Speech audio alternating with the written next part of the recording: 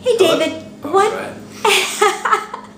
Hey, David. What, what what is it that attracted you to LifeForce? How did you choose LifeForce when there's so many other companies out there that you could have chosen from? Well, thank you, Nancy. Um, I actually looked at a lot of different network marketing companies because I really wanted to create residual income. I didn't want to have to work for the rest of my life. And uh, what I found is with a lot of the companies out there, um, their compensation plan, the way that they pay their membership, is in a way that it really only favors a small percentage of people.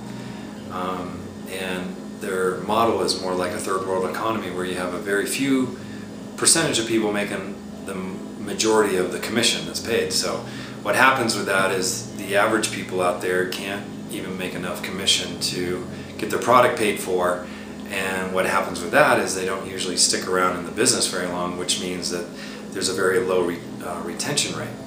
And when I was searching around and I got introduced to LifeForce, what I looked at was the first thing I looked at was the uh, commission structure, and what I saw is that LifeForce pays out a lot of commission right up front. So the average person uh, gets into profit right away and is making anywhere from three to five hundred to three to five thousand a month in residual income.